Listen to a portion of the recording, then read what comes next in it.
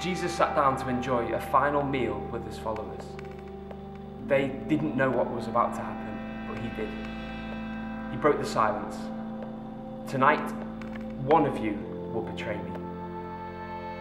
His followers, his friends were outraged.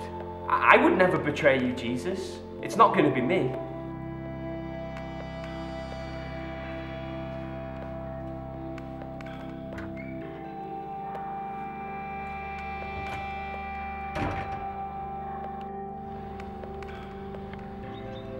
After dinner, Jesus took his followers out for a walk.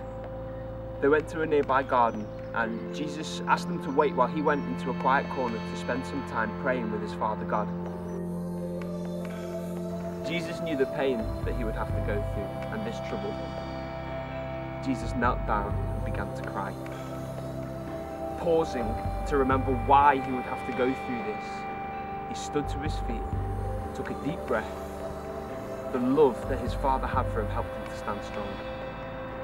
He went back to his followers and found them asleep. He said, Wake up! Look, the soldiers are here to take me away. The soldiers, led by Judas, came to take Jesus away. One of Jesus' followers reacted, drew his sword, tried to hurt one of the soldiers, cut his ear off. Jesus knelt down, picked the ear up, placed it on the side of his face, good as new. Then Jesus was marched to a secret meeting.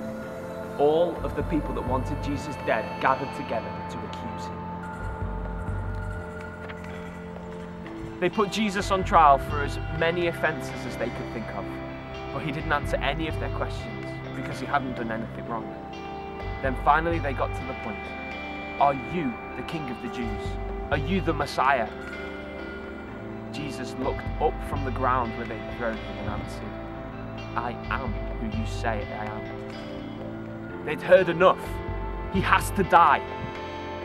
It was Jesus' time. They sentenced him. Crucifixion.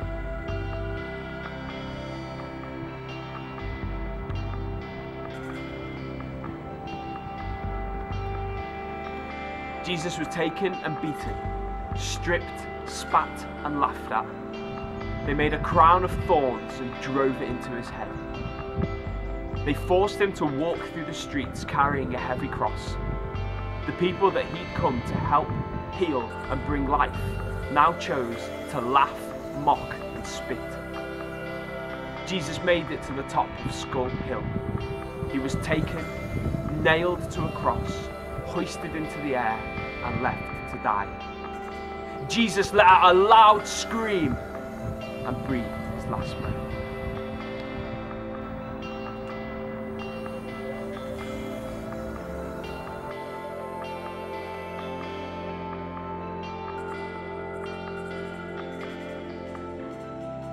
The guards took Jesus' body down and his followers took it away. They cleaned him up and wrapped him in fresh cloth and placed him in a tomb with sweet smelling oils. They said their goodbyes and rolled a huge stone over the entrance of the tomb. They left shaken, sad, and wondering what would happen.